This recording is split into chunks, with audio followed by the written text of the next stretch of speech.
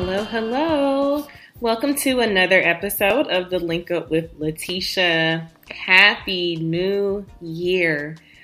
It is 2020. It is a new year. It's a new decade. So I hope that everyone listening right now is uh, extremely excited about the new year. I know things have been kind of crazy, crazy, uh, but you know, still a lot of positive things to look forward to in this new year. I always love New Year's because it signifies a fresh start, you know, a fresh start to, you know, set new goals, uh, set new resolutions, set new habits. My theme for the year that literally came to me yesterday, and, and i usually get my, you know, themes for the year uh, fairly sooner, but for some reason, I was really struggling with what I wanted to focus on this year. Uh, so my theme this year is discipline. I have uh, my well my my themes last year had three. It was alignment, discernment, and oh man, I don't remember the other one right now. Probably like manif- manifestation. Uh, and again, like being intentional about having a theme, it those those things all uh, made to be true for me in uh, 2019. I have exceeded my business revenue goals. Um, you know, closing well over six figures, and so this year, you know, my goal is six figures, which you know, as an entrepreneur, honestly, like that's really not a ton of money, especially when you have other people that you need to pay and you're wanting to reinvest the funds back into your business to scale and, and things of that nature. And so I significantly exceeded exceeded uh, those goals. And so my goal for this year is to hit a quarter mil.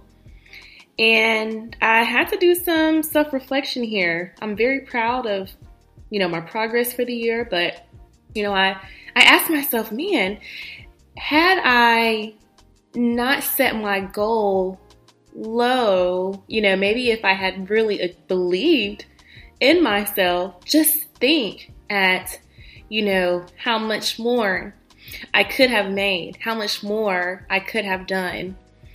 Uh, you know, there was a tweet that went around about, you know, saying six figures should not be the, you know, definition of success for an entrepreneur. And unfortunately, if you're someone like myself who grew up in a, a troubled household with a single parent and, you know, living check to check barely and, and all of that, like money is an indicator of success for, you know, I mean, it's important. You know, you need money to survive. You need money to pay your bills and have a certain quality of life, but it should not be what the number one, in my opinion, not your number one, you know, uh, definition or indication of whatever success looks like for you. But, uh, anyways, saying all that to say that my theme for the year is discipline. So that's what I'm focusing on discipline. Uh, being more having more structure in my in my schedule as an entrepreneur we it's a good thing and a bad thing people ask me like what is what is the best thing about entrepreneurship well the great thing about entrepreneurship is that you know you can do whatever the hell you want. And that's also the hardest thing because you have to be really strict in, in how you manage your schedule and your time and your energy. So i want to focus on discipline making sure i am building and implementing and incorporating the right habits making sure that i have a structure throughout my week making sure that i'm planning that i am prepared over prepared over communicating, which we'll talk about a little bit in this episode, over communicating with my clients, with my team, being fully present, discipline with the gym, you know, just discipline because discipline will keep you going even when you don't feel motivated. Discipline are those habits that will keep you pushing when you emotionally feel, you know, drained or when you you know, it will give you that extra kick and that extra push and to continue that momentum. So I don't know why I just started talking about that, but that's my theme for the year. So, uh, just enrolled new coaching clients for Q1. Super excited to work with them and have some other things, exciting things that I'm working on for 2020. Definitely more master classes. If you were on any of my master classes last year, I did, uh, hmm, how many did I do? I think I did two. I did one on salary negotiation. Uh, it's just still up on my website, lateshabyrd.com slash shop uh, $30 for a salary negotiation course. Um, discount code get the coins. I've had people that have said, Hey, I've gotten a 12K raise. I've gotten a 22K salary increase based on this course. So check it out. Um, I did another master class uh, back in December on how to launch your successful, how to launch a successful job search strategy for 2020. Uh, one of my goals this year is to be releasing many, many, many more master classes. So stay tuned. I will be doing one uh, sometime this month, maybe February, on um, LinkedIn. How do you utilize LinkedIn to really get after these opportunities, whether it is building your network, building a brand, um, getting connected to job opportunities, um, getting clients, you know? So I'll be speaking from how an entrepreneur, how a job seeker, anyone can use LinkedIn uh, for their benefits. So that's going to be rolling out soon as well as some other exciting things. So I will keep you all posted on that. But for today's topic, this is my first um, Link Up with Latesha episode of 2020. And I tweeted something um, earlier that honestly just kind of took off. And the tweet said, if you like your job, focus on developing relationships with your boss and coworkers in 2020. I hate to break it to you, relationships at work do matter. Quality of your work is important, but quality of relationships matter more. Don't ever think you get ahead on your work alone. So that's a pretty long tweet. I don't know how I fit all of that into like 120, 140 characters, but uh, this was important because this is your opportunity right now at the beginning of the year to really level set expectations on, you know, maybe what you are expecting from your employer and what your employer is expecting from you. This is your time to also level set expectations in terms of those relationships that you have at work. You can turn it around. Maybe you don't have a great relationship with your boss. Maybe you don't have a great relationship with your coworker. This is the perfect time, just given that everyone is back from the holiday break, people are feeling refreshed, you know, in good spirits, you know, hopefully energized and, you know, all of that. So use this to your advantage. And I want you all to really think about the temperature of your relationships or rate your relationships on a scale from one to 10, you know, how, what is the strength of that relationship? Think about that. We cannot get ahead at work on the quality of our work alone. I wish that were the case. And the challenging part, because this is uh, living corporate, and I know uh, you know most of our listeners are um, people of color we cannot just get ahead by just doing our work and keeping our heads down, unfortunately. Statistics show that, you know, people of color, especially women, uh, have a much harder time getting promoted to leadership. We have a harder time getting raises. We have a harder time getting acknowledged for the work that we're doing.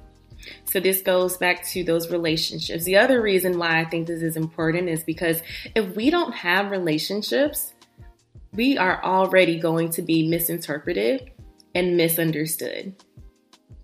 I may have shared this example on one earlier episode where um, I was working on something with a coworker. Uh, we will just call her uh, uh, hmm, what, what can we call her? Let's call her Mary. That's my grandma's name, Mary. So Mary and I were working on something together, and to be quite honest, Mary wasn't pulling her weight. I emailed Mary, crickets. Emailed Mary again, crickets.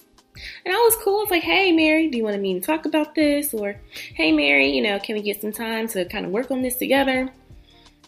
Mind you, I could have gotten this done by myself, but there was like, I don't know if anyone else has experienced this in corporate as a black woman, but it's like, well, we can't just give it to, you know, Latesha. We got to make sure we have somebody else just to let that person, you know, get the credit or let that person, because it's like there's like this it, I don't know, it was weird. Like, do you guys not trust me to do it on my own? Do you, you want to make sure I have a babysitter? Like, anyways, which I ended up doing it on my own. That's a whole different story. So, anyways, Mary and I were working on this thing together, supposedly. And I had a one on one with my manager. And I said, Look, I am trying to get with Mary, and Mary is just like not responding at all. So, my manager says, Okay, well, why don't you just go talk to her in person? I'm like, bet, no problem. So um, I think this was like the same day.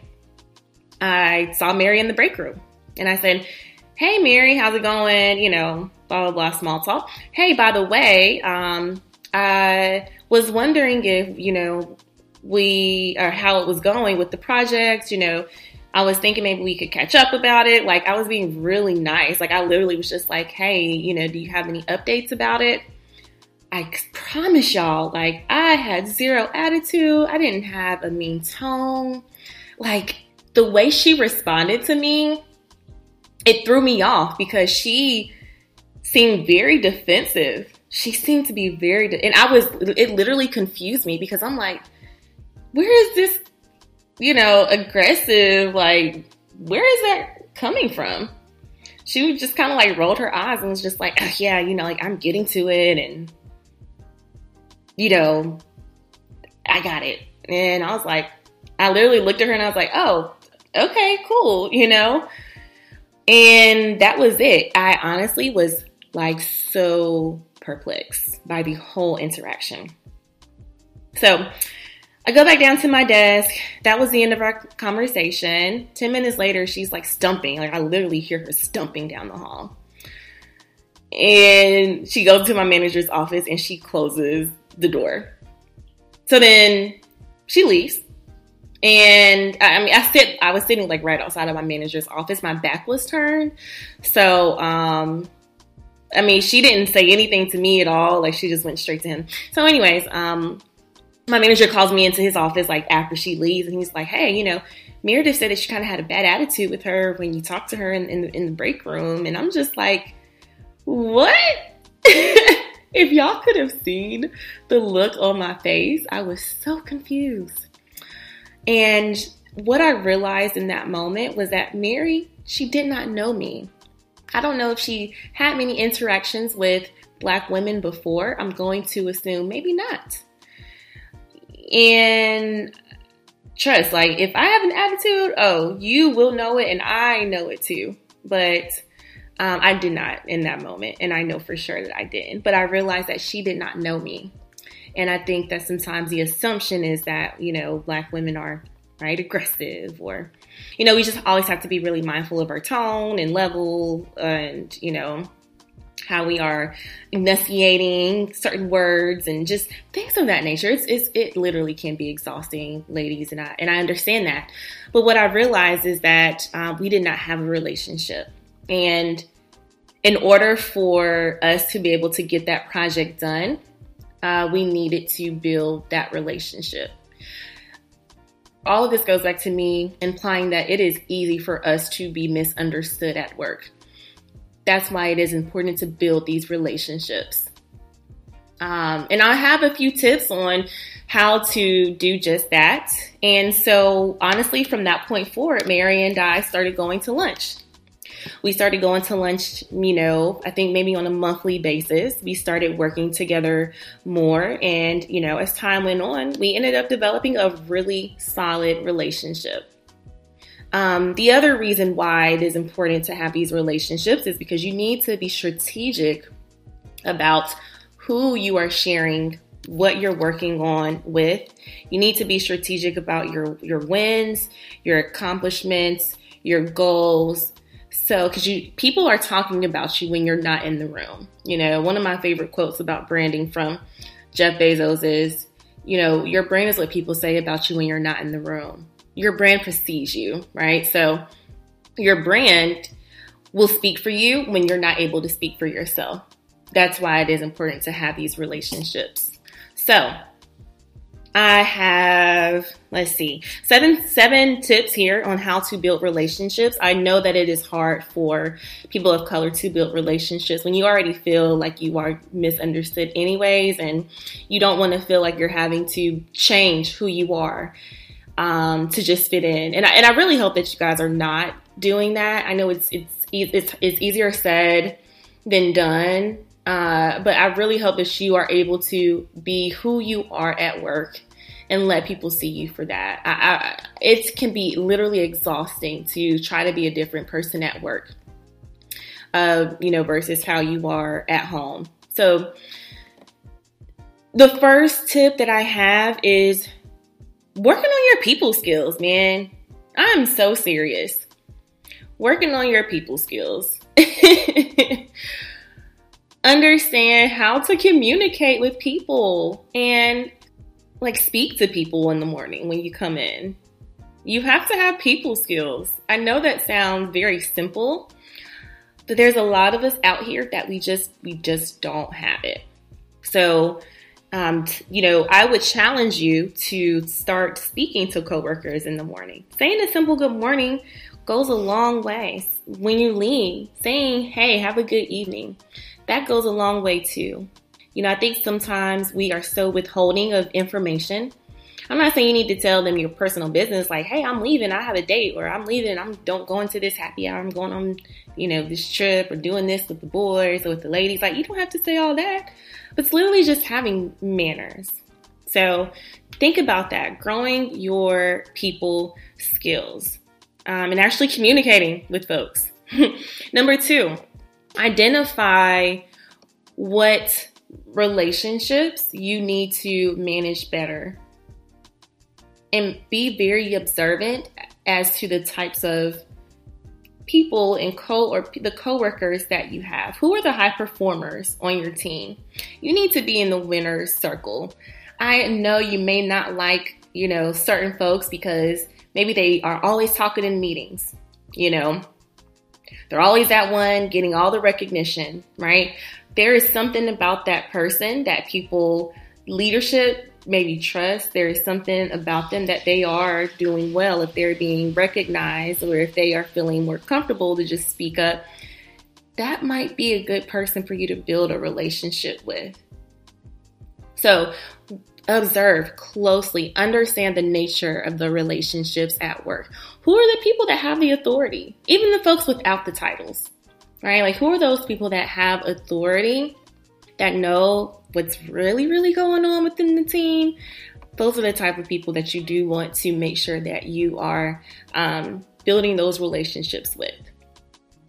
I know when I was in corporate, there was one person on my team who she was most definitely the high performer. She was always the one with the fresh ideas, and you know, she was always, you know, that go to person for literally everyone on the team. And it was annoying. so I don't know if you guys have experienced that before, but those types of people can be a little annoying because they're like the know it alls. And I really had to take a step back and ask myself, like, what is she doing that I am not doing? And that took me letting my pride down, putting my ego to the side, and working on building a relationship with her. Looking at who does she have a relationship with? Is that someone that I need to have a relationship with too? Uh, with that being said, you do need to know the high performers. You need to know who the decision makers are. So, one particular thing I really wanted to talk about this with your relationship needs is the difference between mentors and sponsors, aka advocates. There was an article that I was reading about how Black women don't need more mentors. We need sponsors. We need people. And when let me just share what a sponsor is, okay? A sponsor is someone that is advocating for you when you are not in the room. That is someone that is saying, "Hey, Latesha is really crushing it right now. and you guys need to pay attention attention to her. She is a, you know, shining star on the team. She is a you know, she is a high performer. She's someone that we need to really make sure we um, look out for. These, I promise y'all, these conversations are being had that is someone that is in a decision making authority, someone that is in leadership that can actually push the needle forward when it comes to your success. They typically are in a senior level, and that's there's someone that's going to be invested in your career. They will also open you up to their own network within the company. Um, they are going to be championing for you even when you not when you don't know it but they're going to be using their authority and their reputation. So you are essentially an extension of them. You'd be surprised at how many people will look out or will promote a person off the strength of one particular person that has um, that type of authority. Now, that's someone that might be at a partner level or a C suite level, depending on the size and nature of the company that you work for but you do need sponsors. If you don't have sponsors, make that a goal for 2020 is to get some sponsors at work. Now let's talk about mentors. Mentors. Mentors are someone that will help to make your job easier. They might give you training. They might give you suggestions on, hey, here's how you can navigate this particular situation. Here's how you can navigate this particular relationship. They may give you feedback on your development. They may offer insight on how to, you know, um, kind of maneuver in corporate. Um, and they may kind of share their unwritten rules on how to get ahead, but they may not be someone that is really vouching for you. Understand that there is a difference. Mentors mentor you, sponsors advocate for you. All right. So it's good to have mentors and understand that you won't go to your mentors and your sponsors for the same thing, when you're talking to your sponsors, you need to be really strategic in the information that you're sharing. You need to be sharing your wins. You need to be sharing your goals. You need to be sharing, you know, or asking them questions about what it's going to take for you to really grow at the company, right? Um, with your mentors, that could be if you want to talk to them about certain challenges that you're having. That is what you could go to your mentor for. I mean, you could still go to them for the other things, but just be strategic in how and what information you're sharing. So, um, if you're not sure in terms of who to build relationships with, start there. Mentors, sponsors, the high performers on the team. And then also like the people that maybe have been at the team for or been on the team or at the company for a while. Maybe they're just kind of cruising to retirement or they're complacent with, you know, where they are, but they have the relationships and they know what they're doing at work, someone that can help you, um, that could be a good relationship and that could be a great mentor uh, for you. Um, think about how you can add value as well to these people. Understand what their strengths are and what their weaknesses are. So, when I uh, worked in corporate, I was on the recruiting uh, team. I was the youngest one on the team of eight and um, the oldest actually became like one of my closest friends. I love her so, so much. She's just one of the most amazing people I've ever met. She has to be in her 60s. Um, super, super sweet. She had been with the company for over 20 years. Literally, like, she's, I don't want to compare my age to how long she's been there, but um, she definitely has some years on me. Wonderful, amazing person. And we built an alliance. She knew the who to build relationships with. She knew how she knew how to play the politics game.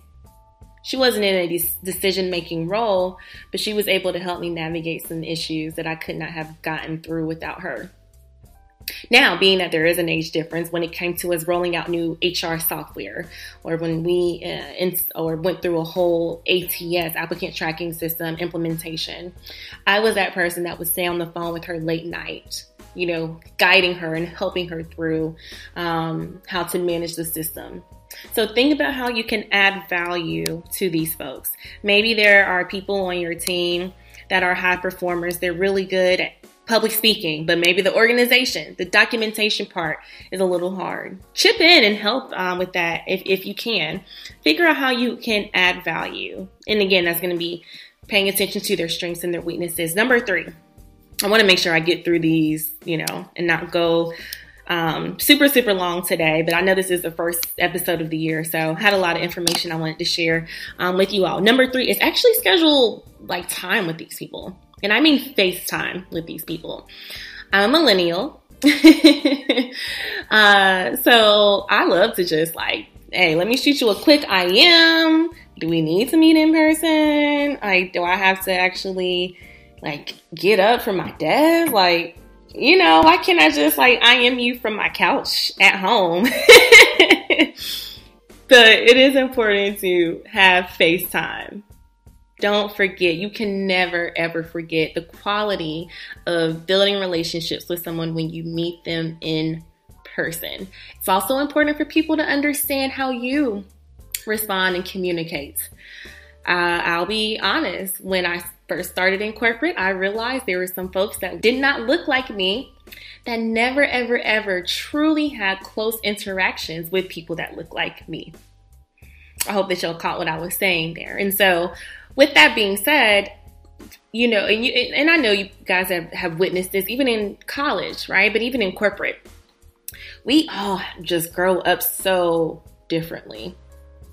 We are around so many different types of people. And, you know, depending on the person, um, depending on the coworker, they may have not had a lot of interactions with someone um, that is, um, you know, a person of color. So keep that in mind, you know, what their uh, assumptions or thoughts of us could be from what they see in media, TV, and, you know, movies. So it is important to let people see you to see you for who you are. Uh, I had a coworker um, that I love, love, love, and uh, she uh, is a black woman, and she was so feisty. Oh my goodness, she's so feisty, and I I love it now. But I used to think that she hated me, and I'm be honest, y'all. Like I used to think that she it hated me. Uh, and then once we started to spend more time together and we were working at some of the same conferences, I was like, you know what? Like, this is just how she is with everyone. Like, she is truly herself. And so, all I'm saying here is let people see you for who you are, let people warm up to you um, so that they um, will be able to build that trust. When it comes to scheduling time with people, you got to be present. Be present and really get to know people for who they are, even outside of work it is okay to ask people about their family, if they have children, if they have pets. People love talking about their pets. Uh, asking people about their hobbies, like what do they enjoy outside of work? What type, you know, what do they do for fun? Um, do they, you know, do they cook? Do they go out to eat? What are their favorite restaurants? I mean, find ways and pockets to kind of pull information out of people and get to know them and be mindful of that. I used to keep a little notebook with me everywhere that I went. Whether it is me meeting with someone, you know, meeting with those, those decision makers for the first time, it is hard to keep up with names, y'all. I'll be honest. Like, it is really hard to keep up with names. So there was one particular partner that everyone said, "Oh my gosh, he is so hard to work with. He's so hard to deal with, and he's rude." And when I tell y'all, he's an older white man. Um, we had the best relationship. Like he is my homie. He is someone that advocated for me and he just did not care. he was at that level where it was like, look, y'all, y'all are not about to fire me. I have all this control, I have all this power. Like, you cannot check me. And I love that energy. we had a really great relationship. And that's because I took the time to get to know him. I asked him about his family, I asked him about his hobbies. And he didn't know this, but when I would step away from our conversation, maybe I would run out in the hall or run to the bathroom, I might, you know, go somewhere in private and I would jot these little notes down. These are his daughter's names. This is where they work. This is what they do. If they're in school, this is what they're doing. This is his wife's name. Jotting down that information. So when I next time I saw, oh, how's your girls? How's your wife? You know, And over time, we were able to build that relationship. Other thing I want to say here is attending events, attending those happy hours. I know we hate, hate having to spend time with people that we see literally all day, every day. So those dinners and happy hours, y'all, we have to go. We have to go. Have you ever been in a performance review and they'll say, well, we don't really know you.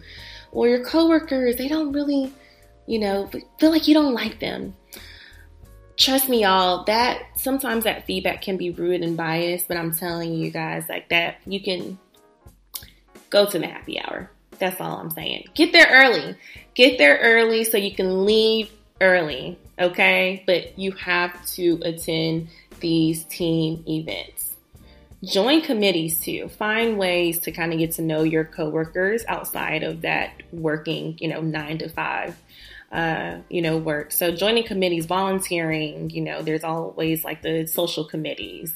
Um, join those committees so people can one see you how you are, understand how you are, operate even outside of that work, that you know maybe a little bit more button up work environment. That is a great way to build those relationships where it's not forced. But I would encourage you to really be intentional about that FaceTime, coffees, lunches, you know, maybe if you can't because your team is in a different country or across, you know, different coasts, just scheduling those recurring checkpoints is going to be important. Number four is over communicate. Uh, what I mean by this is constantly just emailing. And again, this is what uh, a manager told me was over communicate so people don't have time to make assumptions or generalizations about your work. So, like, let's say you're working on a project with someone. They don't know where you stand at work. Maybe you guys don't have where you stand on your progress. Maybe you guys don't have like a solidified, hey, here's how we're going to keep each other updated on where we are. Send them a quick note and let them know. Do it in advance. All right. Maybe you aren't planning to go into the office the next day. And again, I get it. Like if you're in an environment where it is a very flex work, uh, you know, arrangement, people don't really trip like that. But trust me, they are still watching. Okay, they're still watching. So um, just send a quick note. Hey, I'm gonna be working from home tomorrow. Just wanted to let you know something at just like that. Just don't give people any room or space to make any assumptions about your work and your work performance. I think I can leave that there. I personally think that over communication is key for that. Always keeping the right people in the loop of what it is that you have going on is important. Number five, say thank you. That sounds so simple, but showing appreciation goes such a long way. Recognizing your coworkers if they have done something positive, if they've been helpful, you know, if they really kind of stuck, you know, their what is it, their hand out, their foot out for you, or whatever it is. Like, actually take the time to say thank you. Even if it's the first time that person has done that, or, you know, maybe you have been helping that person out for a long time and they never helped you out. And now they're finally helping you, helping you out. And you're like, okay, about time. Like, whatever it may be, just say thank you. Even your boss. Um, people want to feel appreciated and, and, and be genuine about complimenting people when they do something well. This is going to be a great way to build relationships. Number six is all about positivity. Focus on being positive. Focus on being positive. People don't want to be around a negative Nancy. And with that being said, too, you don't want to be around negative Nancy, so stay away from those negative folks, which leads me into the next thing gossiping. Do not gossip at work, guys. Please find someone else to talk to outside of work. I'm telling you, it don't gossip at work.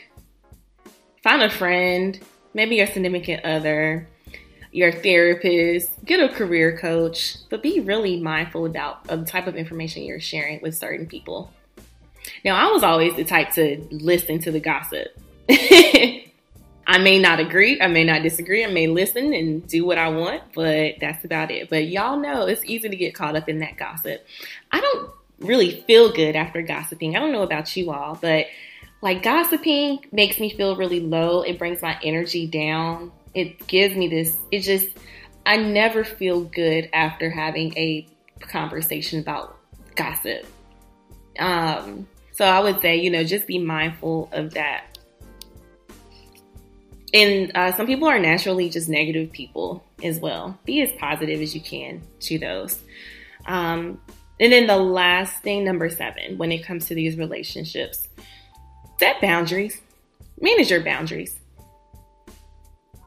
If this happen or with managing boundaries, that means like don't allow your coworkers to just depends on the nature of the relationship. Maybe they shouldn't be texting you after hours, right? Or there should not be an expectation where they email you after hours that you're going to get back to them, you know, before you go to bed. Like, don't be that person that's like always available 24 7. You have to manage your boundaries, one, so that people can't run over you. Um, and that also so you can make sure you're taking time to restore your energy while you're not at work. So that's all that I'm saying there is is managing those those boundaries. Maybe if you're not responding to someone's email fast enough, right? Like maybe you have a coworker that emails you at eight o'clock in the morning, you don't get back to them. They're emailing you at 10 a.m. like, hey, just following up here. Like, okay, son, it's been like two hours. So like give me some time. You know what I'm saying? Manage those boundaries. And that's all about uh, gaining respect. Do it assertively, of course, do it in a positive manner, like, but don't be negative about it. But definitely manage those boundaries so that you can get the respect that you deserve. So, um, those are the tips that I have. I hope this was helpful. Let me just run through uh, those seven things again. Number one is people skills. you got to have good people skills. Learn how to communicate. Learn how to get to know people. That small talk is a good start. Um, being observant, thinking about who will be your advocates for 2020, aka your sponsors, who will be your mentors. Number two, identify your relationship needs. Who do you need to build relationships with? What do you need from them? And then what do they need from you? How can you add value there? Number three, schedule time with people. Don't forget about FaceTime. Don't underestimate the value of FaceTime. Number four, over communicate. Always be always be communicative about what you have going on, your progress, um, things of that nature. Again, don't give folks too much room and space to make assumptions that can negatively impact uh, your performance um, or your brand. Number five, say thank you. It goes a very long way. Number six, being positive, avoiding gossip as much as possible, avoiding negativity, finding people outside of work that you can vent to. And then number seven is managing your boundaries. That will get, make sure that you are getting respect. So I hope these are, are helpful. Um, hit me up. I want to know like what your themes are for the year. Like I said, my theme is discipline, all about discipline, discipline, discipline in 2020. Um, so yeah, uh, I will be talking to you guys uh, very soon. Bye. Living Corporate is a podcast by Living Corporate LLC. Our logo was designed by David Dawkins. Our theme music was produced by Ken Brown. Additional music production by Antoine Franklin for Musical Elevation. Post production is handled by Jeremy Jackson. Got a topic suggestion? Email us at livingcorporatepodcast at gmail.com. You can find us online on Twitter, Facebook, Instagram, and living-corporate.com. Thanks for listening. Stay tuned.